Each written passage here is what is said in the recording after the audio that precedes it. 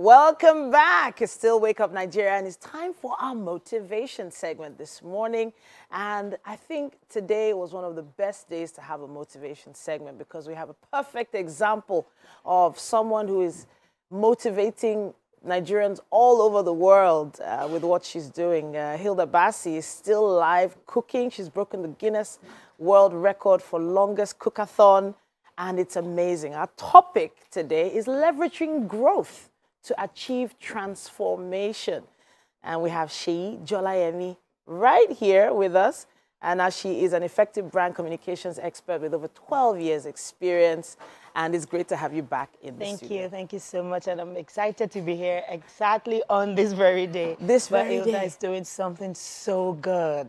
She's doing Making something all of us so proud. honestly.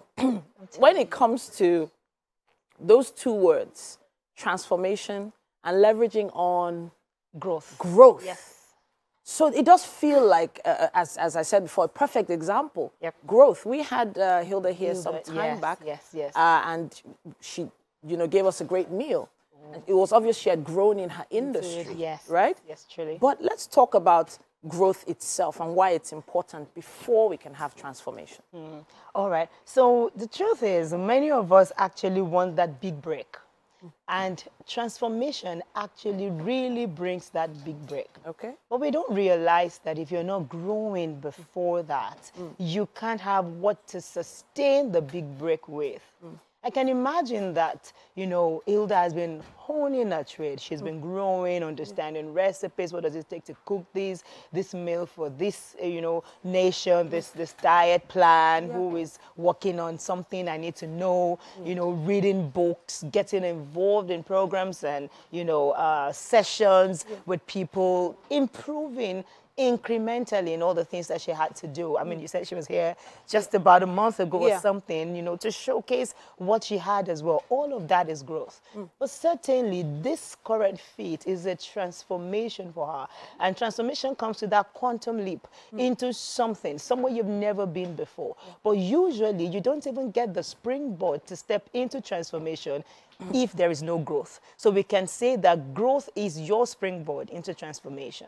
Okay, so you know, a lot of people think uh, stardom happens basically overnight, and we're not saying that miracles don't happen. Sure. But it does feel like the process is a very long and grueling one. Um, how can we motivate people who are still growing in their industries?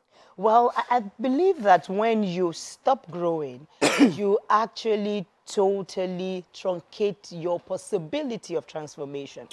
And this is not to say that, you know, you should um, look towards just transformation and not continue to grow.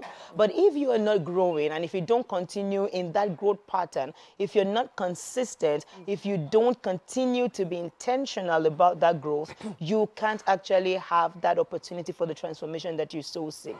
You know, I can imagine, you know, we don't have the back, full backstory, and I believe we will in Yeah. the next few days. Sure. But what did she have to go through? How many months, possibly years of planning? Yeah. What did she have to learn to put it on her mind? She had to build a team. She had to, you know, plan this well, apply, of course, for mm. this um, opportunity to Yeah. also try to beat that record. Mm. She had to think global. Mm. I mean, I heard she had to lose weight Yeah. so that she could at least, you know, get the stamina, the required Yeah. resilience to stay for all of those hours. All of that has the growth embedded in it. Mm. And whatever growth it is that you are involved in today, yes, it's, it's possible for you to look towards transformation and then see how you can leverage the inputs you have now Mm. for that big leap that you are expecting to have. Okay, so when people eventually get to that point where the big leap needs to happen, Okay? it does feel like it's, um, it's either a lot of people just give up Yep. Or they take that step. Well, let's talk a little bit about risk. Mm. Getting to that point where you need to take that big step. Mm. What do you think happens to the average person? Okay, so I want to believe that you have to be beyond average to seek transformation. Okay. If you want to stay in the realm everybody is in, then that means there's nothing different about you. So you can say that um, you know growth is you know increasing gradually, building up and improving on the existing structure you have in your business, for example. Yeah. While transformation is innovation. Mm. And if you keep staying on the average, you certainly will not get to that point where you can innovate. Mm.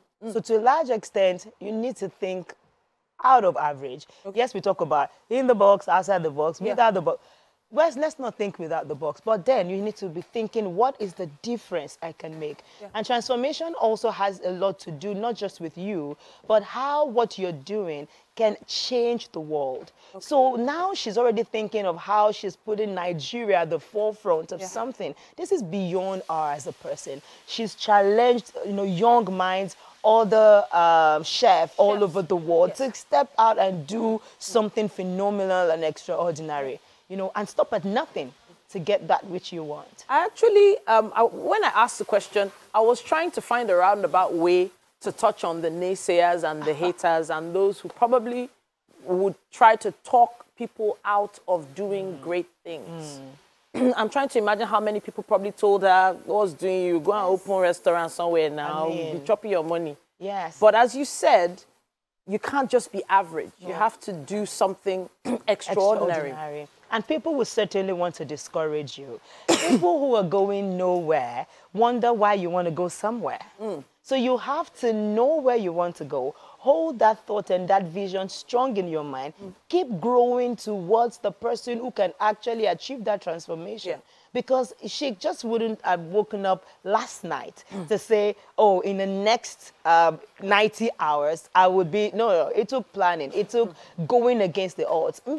Maybe she even had people in her family who felt like, oh, what, what came out of your mom yeah. being uh, yeah. a chef or a cook? Can you not dream bigger than this? But Sure. Naysayers will always come. They will want to discourage you. Mm. They won't want you to go for your growth. Mm. So when you are now talking transformation, it is beyond what their minds yeah. can say. Yeah. But then you need to continue to leverage on that growth. Go against the odds. Growth itself is tough, but transformation is certainly tougher. Hopefully we have enough time. I just want to touch on fear. Okay. Because in the end, that transformation progress yes. is very painful. It is. And as we could see.